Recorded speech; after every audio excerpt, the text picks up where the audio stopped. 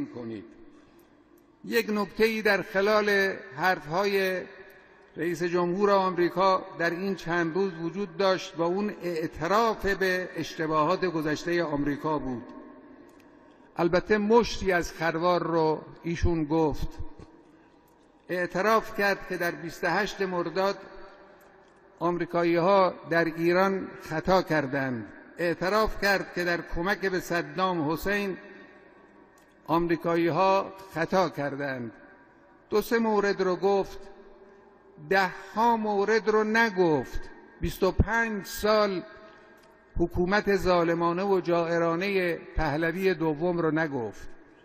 شکنجه ها قارت ها کشتارها جنایت ها فاجعه آفرینی ها از بین بردن عزت ملت ایران لگتگوب کردن منافع داخلی و خارجی ملت ایران رو که به وسیله آمریکا انجام گرفت نگفت. تسلط صهیونیست ها رو نگفت.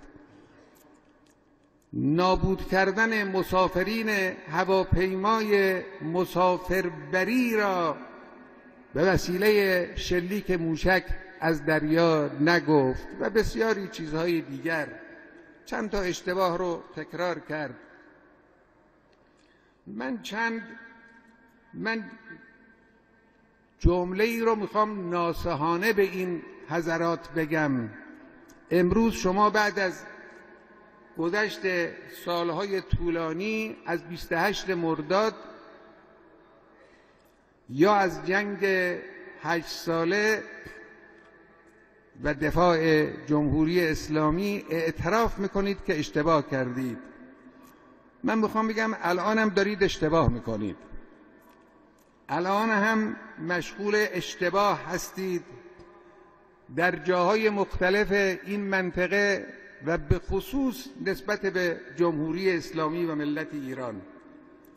چند سال دیگر یک کسی دیگری میاد همین اشتباه شما رو به رخ خواهد کشید. همچنانی که شما امروز اشتباه گذشتگانتون رو به رخ می‌کشید. شما هم دارید اشتباه می‌کنید. بیدار شید. از اشتباه خارج شید. حقیقت رو بفهمید. در منطقه اشتباهات بزرگی رو دارن مرتکب میشند اونچه من به ملت ایران می‌خوام عرض بکنم. جمهوری اسلامی به توفیق الهی به حول و قوه الهی مقتدر و قویست روز به روز هم قویتر شده است.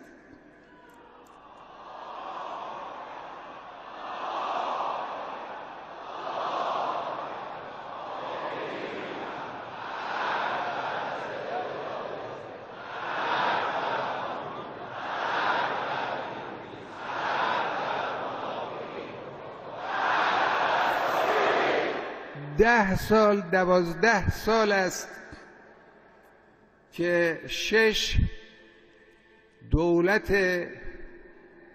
بزرگ جهانی که از لحاظ ثروت اقتصادی و غیره جزو کشورهای مقتدر دنیا محسوب می شوند اینا نشستند در مقابل ایران با هدف اینکه ایران رو از پیگیری صنعت هسته‌ای خودش باز بدارند.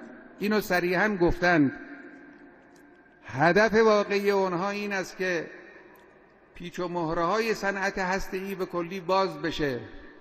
اینو در سالها پیش هم به مسئولین ما صریحا بیان کردن. الان هم در همین آرزو هستند. ده سال دوازده سال کشمکش با جمهوری اسلامی نتیجه این شد که این شش قدرت امروز ناچار شدند که گردش چند هزار سانتریفیوژ رو در کشور تحمل کنند.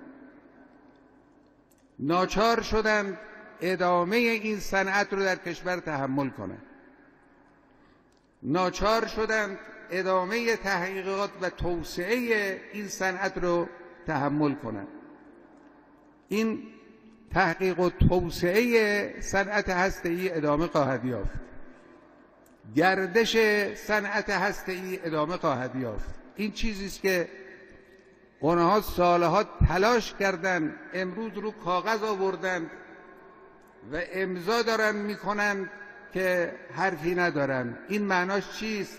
جز اقتدار ملت ایران.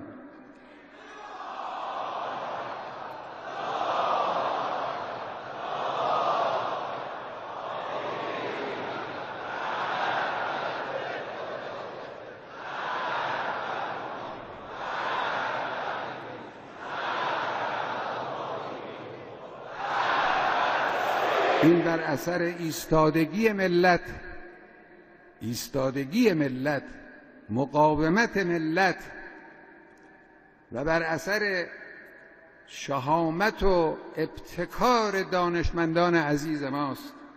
رحمت خدا بر شهریاری ها و رضایی نژادها و احمدی روشنها و علی محمدی ها رحمت خدا بر شهدای هسته رحمت خدا بر خانواده های اینها رحمت خدا بر ملتی که پای حرف حق خود و احقاق حق خود می یک